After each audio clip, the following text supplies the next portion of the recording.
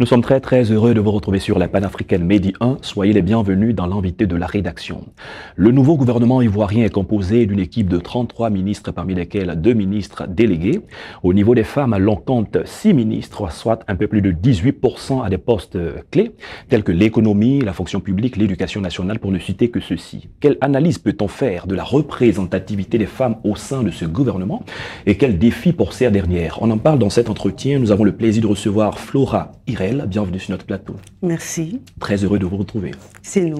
Vous êtes journaliste, analyste des politiques euh, publiques et présidente de l'ONG Communication et Citoyenneté. C'est bien cela. Nous allons parler donc euh, des femmes au gouvernement. Alors, comment est-ce que vous apprenez la nomination euh, de ces femmes dans le gouvernement actuel? Merci de nous donner la possibilité et l'opportunité encore de parler de la des femmes. Et donc, euh, nous avons eu un goût un petit peu amer lorsque nous avons vu qu'il n'y a que six femmes au gouvernement, au nouveau gouvernement, donc une représentativité de 18,75%, que nous estimons très faible. Pour le premier gouvernement du ministre Patrick Hachi, nous avions huit femmes, sept ministres et une secrétaire d'État. Le gouvernement numéro 2 du Patrick Hachi, euh, le nombre a descendu un petit peu à 7 et aujourd'hui nous sommes à 6. Mmh. Donc nous euh, voyons que le pourcentage est en déclin, ce qui nous alarme un petit peu. D'accord. Jusque-là, on n'a pas encore entendu de femmes euh, premières ministres. certains ministères enfin on dira clés comme la défense, la sécurité, rarement on y voit des femmes.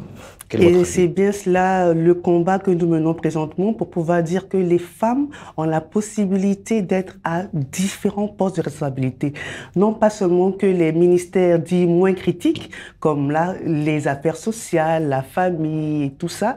Et nous félicitons déjà euh, Madame la ministre Ouloto, qui est passée ministre d'État, et la ministre euh, de, euh, de l'économie et du plan, qui ont des postes clés. Mhm. À part cela, nous estimons que les femmes peuvent être à de meilleurs postes. D'accord. Parlons justement de certaines femmes ministres en termes de, compétences, en termes de carrure, en termes de leadership. Que pensez-vous de celles qui occupent le poste euh, de la fonction publique, de la modernisation de l'administration, Anne ou Lotto et le constat, il est clair, d'où euh, sa promotion à ministre d'État. C'est une femme qui est très valeureuse et qui a œuvré et qui œuvre toujours à la modernisation de notre fonction publique. Nous avons vu dernièrement en juin qu'elle a fait euh, tout ce qui est digitalisation des procédures administratives. Nous souhaitons avoir une fonction publique moderne, donc digitalisée. Et c'est elle qui a promu cela. Donc vous euh, voyez que c'est une dame qui est à sa place et qui travaille efficacement pour la modernisation de la fonction publique. Et Quelques jours, euh, nous avons vu aussi qu'il y a certains diplômes qui ont été euh, déclassifiés.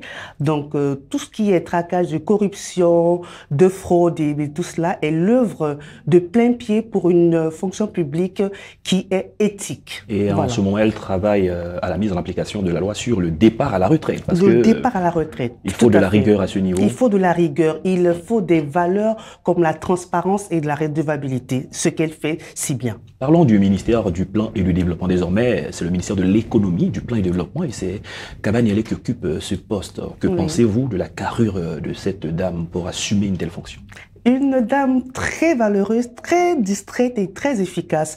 Nous, en tant qu'analystes des politiques publiques, nous nous sommes réjouis de cette loi qu'elle a pu promulguer pour l'évaluation des politiques publiques du gouvernement ivoirien. C'est une loi qu'elle a défendue euh, à l'Assemblée nationale et qui a été ratifiée par le Sénat. Et nous disons que c'est une mesure de redevabilité car les politiques publiques sont là pour que le gouvernement puisse avoir de ces valeurs et que nous puissions évaluer leur activité au quotidien. Parlons aussi euh, de, l'éducation nationale, de l'alphabétisation. Euh, on se posait beaucoup de questions. Il y a Marietou, connaît le professeur Marietou connaît, qui occupe ce poste depuis quelques années. Elle a été encore reconduite. Est-ce que c'est le signe d'une efficacité à ce niveau, selon vous? C'est le signe d'une efficacité certaine. Et nous voyons les résultats sur euh, l'éducation, nous voyons les résultats sur nos enfants. Pourquoi est-ce qu'un ministre, il est établi pour que les, les craintes et les récriminations des populations soient écoutées? Et ce qui a été fait, elle est venue et elle est en train de relever le niveau de l'éducation. Et c'est en cela que nous disons que les politiques publiques servent pour la population. Et les cris et les espoirs des populations doivent être entendus, ce que la ministre Marie-Tout fait de façon professionnelle et de façon efficiente. On le disait en termes, vous aviez des inquiétudes quant à la représentativité effective des femmes et selon la loi qui dit qu'il faut 30% dans les assemblées élues. Est-ce que vous pensez que si une femme est nommée première euh, ministre de l'État de Côte d'Ivoire, euh, on va passer à plus de 30% de femmes, par exemple, dans le gouvernement? Et nous pensons que c'est absolument sûr. Nous pouvons voir déjà le le cas de notre Sénat avec euh, notre euh, sénatrice Candia Camara qui a fait son gouvernement, son, son parti, pardon, on va dire qui a fait son comité où est-ce qu'il y a une représentativité élevée des femmes. Donc les femmes peuvent être premières ministres et pas que. Elles peuvent être ministres de l'Intérieur, voilà des postes non moins valorisants pour la femme aussi. D'accord, parlons de votre ONG Communication et Citoyenneté. Qu'est-ce que vous faites euh, justement pour encourager les femmes à occuper euh, des postes politiques, à la formation, pour que de plus en plus elles puissent euh, obtenir ce genre de, de, de postes élevés? Effectivement, notre maître mot, c'est la formation. Nous euh, disons que les femmes, lorsqu'elles seront positionnées, doivent être compétentes. Et ce n'est que la formation qui leur donnera tous les outils pour pouvoir euh, diriger à bon escient les différents postes qu'elles occuperont. Donc nous faisons de la formation politique pour ces femmes-là. La, faiblesse de la représentativité, on l'a dit, peut être euh, due aux stéréotypes qui existent depuis plusieurs années. Comment arriver à faire en sorte que ces stéréotypes-là désormais disparaissent, pour que les hommes aient de plus en plus confiance. Le président de la République, on, peut le dire, il fait beaucoup d'efforts, sauf qu'il y a encore du travail à faire et ça doit être un peu partout dans toutes les institutions. Effectivement, le président de la République fait beaucoup d'efforts et nous parlerons de masculinité positive. Il faut que les stéréotypes puissent euh, quitter définitivement nos chers hommes parce que il faut que ceux-ci puissent défendre la cause aussi de la femme pour que ces stéréotypes-là puissent être effacés carrément de tout ce qui est mentalité africaine et surtout ivoirienne.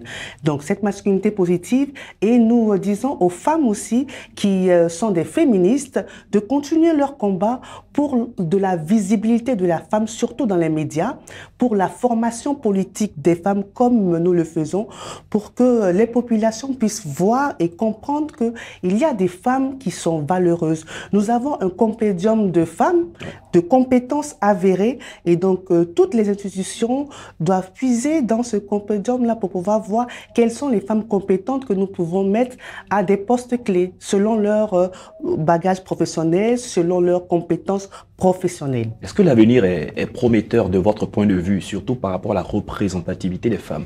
Euh, L'ex-ministre d'État est aujourd'hui présidente du Sénat, c'est la première femme qui occupe ce, poste. Qu'est-ce que vous voyez les prochaines années, les prochains gouvernements?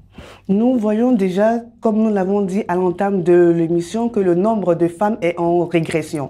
Donc ça, c'est déjà alarmant pour euh, notre gouvernement. Donc nous demandons à notre gouvernement, aux différents présidents, aux euh, différents ministres de penser dans leur prospection, dans leur projet, à inclure la femme dans leur projet de société. Mhm. Et quel résultat est-ce que, auquel on s'attend? On s'attend beaucoup plus de femmes et beaucoup plus de compétences euh, au quotidien dans, euh, dans les fonctions de l'administration. D'accord, très bien. La dernière question, c'est au sujet des femmes elles-mêmes. On a relevé bien des fois qu'il y a un manque de confiance. Euh, beaucoup de femmes sont instruites, beaucoup ne vont pas très loin, d'autres ont du mal à occuper les responsabilités dues à beaucoup de pesanteurs. Vous qui êtes analyste des politiques publiques, qui est aussi responsable d'une ONG. Qu'est-ce que vous pensez pour booster le courage de ces dames? La formation et euh, surtout beaucoup de communication pour le changement de comportement. Nous voyons que lorsque les femmes sont incitées à avoir du leadership, lorsque les femmes sont incitées à aller au devant des postes, elles, elles y vont parce qu'elles savent qu'elles sont compétentes et qu'elles le peuvent. Donc, formation, leadership et euh, beaucoup, beaucoup, beaucoup de dynamisme et surtout que les hommes puissent venir dans la danse pour que ensemble nous puissions relever la représentativité des femmes ivoiriennes. Sur ces mots que nous allons mettre un terme à cette émission. Irèle Flora, merci d'être passée sur notre plateau. On rappelle que vous êtes journaliste, analyste des politiques publiques et présidente de l'ONG Communication et Citoyenneté.